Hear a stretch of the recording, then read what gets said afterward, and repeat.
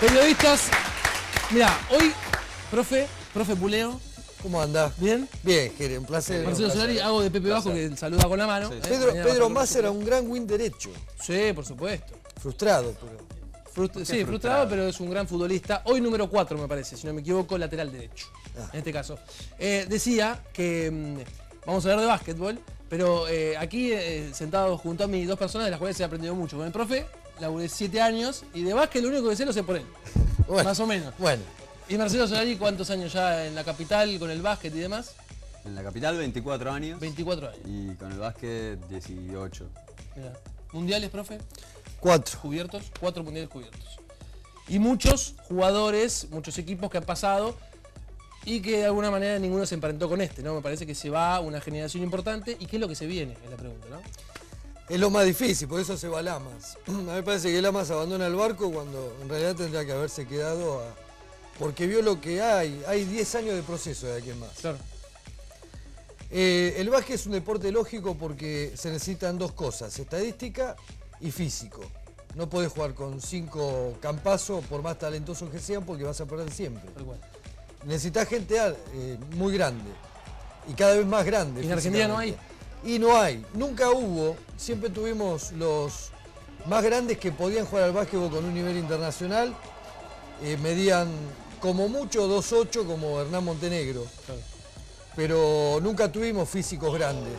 El caso Lo de- que pasa es que Sí. compensamos en la generación dorada altura de 2'7, 2'8 con eh, mucho talento. Fueron cuestiones de causalidad y casualidad que se dio en una generación. La causalidad fue la Liga Nacional y el crecimiento de estos chicos. Y la casualidad que hayan nacido tres o cuatro lunguitos que eh, hayan tenido talento como para desarrollarse. Ahora, escola solo, con chicos de dos metros al lado, por más voluntad que pongan, es- con la potencia es imposible. Tal cual. Hoy veía, Marce, eh, la imagen de Ginóbili frente a Serbia, ¿no? El punto de, de Ginóbili, todos tirados en el piso, Leo Gutiérrez con un pelo un poquito más largo, lo besa, le da un beso. Y pensaba que sin Emanuel Ginóbili no se hubiera logrado lo que se logró. Está claro. Es muy probable. Sin él solo, digo. ¿eh? Después todos los demás han aportado mucho, pero creo que Ginóbili fue la clave para haber llegado a... a- Hoy llegó. por hoy la figura de Luis Escola es la que supera a todos en la selección porque siempre dijo que sí. Y, y más allá de Houston, más allá del equipo que haya sido en la NBA, Escola siempre estuvo. Y no ha sido el caso de Ginóbili, que no se entienda esto que es un reproche a Manuel Ginóbili. No, no. yo sí, sí lo- Pero eh, es A Vox ver. Populi, entre comillas, que hay una crítica hacia Manuel Ginóbili porque A eso digamos, iba. estaba en su momento final de carrera, Sí. podría haber viajado Sí, a España, haber dejado Tal vez su equipo, eh, es bueno. eh, una cuestión de que él piensa que su continuidad en San Antonio como entrenador, manager o lo que sea podía haber estado en duda en el caso de que él hubiese Claro. desoído la advertencia de su equipo de no ir a, a este mundial. Nos ha dolido a todos porque era la despedida que se merecía él y que se merecía toda la generación dorada, su equipo, claro. eh, la cual eh, el propio Luis Escola dijo apenas terminó el partido con Brasil que ya no existe, porque ¿cuál es la generación dorada? La de Indianápolis 2002, la de Atenas 2004, la de Japón 2006. Ha sido un proceso gradual de jugadores que se han retirado del equipo por una cuestión de edad y otros que se han insertado.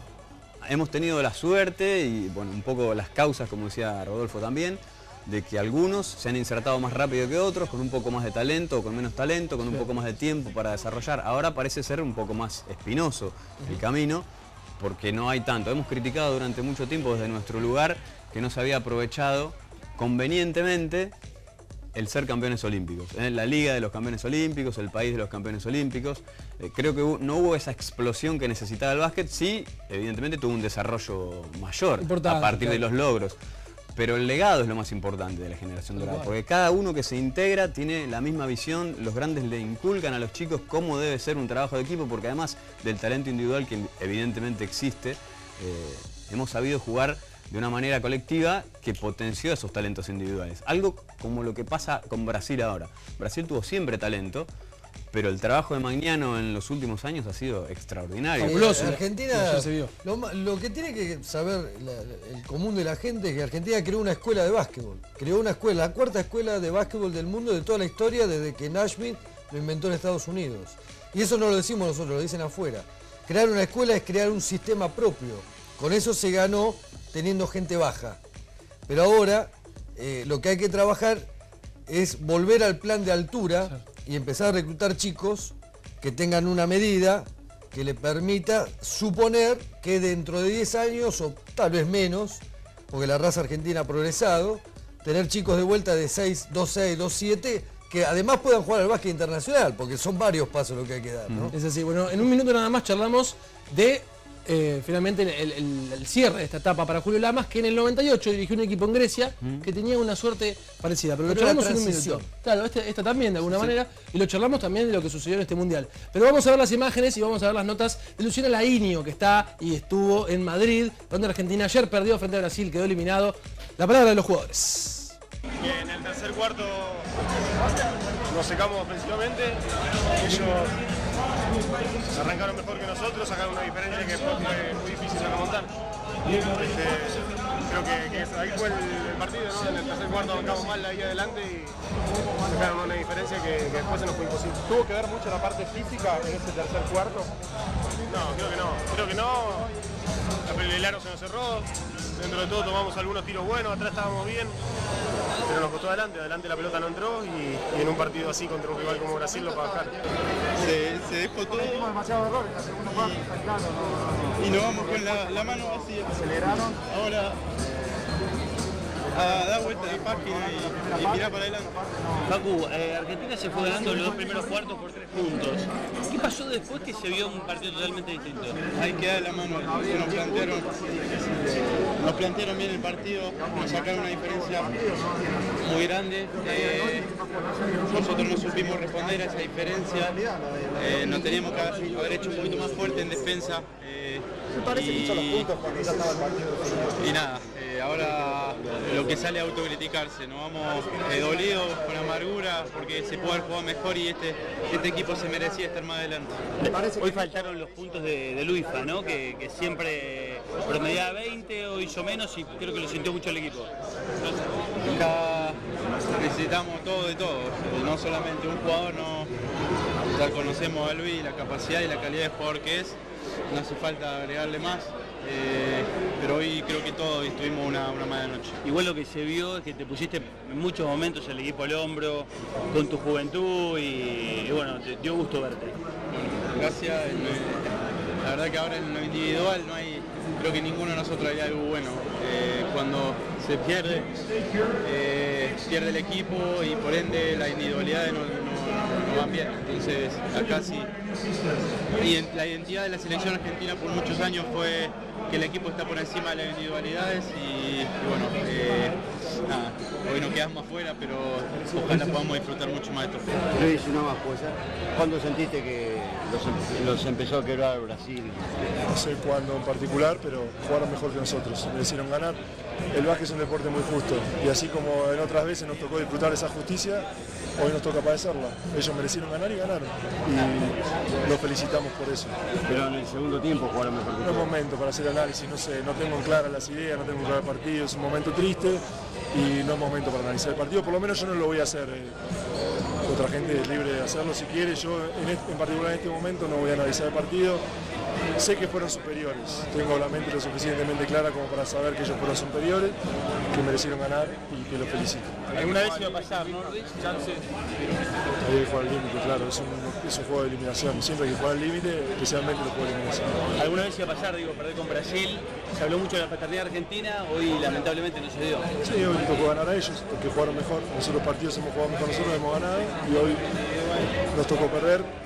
Está mejor que nosotros. Y insisto, a riesgo de ser repetitivo, los felicito y solo es momento de, de asimilar la derrota y empezar a trabajar de nuevo.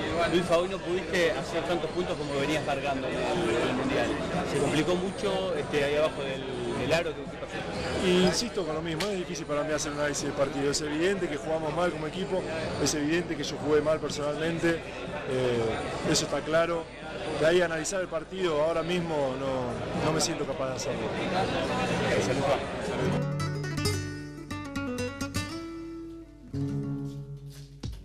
Bueno, las caras lo decían todo, ¿no? La de Sazón, por supuesto, de Facundo Campazo en su primer mundial, Luis Escola y un cierre de alguna manera. Estaba muy incómoda Luciana Laini recién para las imágenes, un gran trabajo periodístico que nos ha traído. ¿Cuánto por hablar? Siempre como pasa en televisión poco tiempo, pero digo, ¿Qué ha pasado en este mundial? Recién hablaban fuera del micrófono del fixture, de lo que quedó afuera, de lo que se vio de Argentina, para analizar. Eh, yo decía que eh, desde un momento quedó en evidencia que el campeonato estaba hecho y no hay duda que son los dos grandes favoritos para Sí. que la final sea España y Estados, Estados Unidos. El local siempre tiene algún privilegio para el armado del fixture, pero en este caso fue demasiado evidente. No hay manera de que eh, Estados Unidos y España no se encuentren solo en la una final, salvo la que final. alguno de los dos no llegue, ¿no? Pero y entonces eh, España tenía el grupo de equipos más fuertes para no tener que cruzarse con ninguno de esos en la segunda fase. Y de hecho los cuatro equipos del grupo A cuatro de cinco. le los, los cuatro equipos del grupo de España le ganaron al- a los cuatro del grupo de Argentina en el cruce de octavos de final. Claro, eso, mar- eso marca una pauta.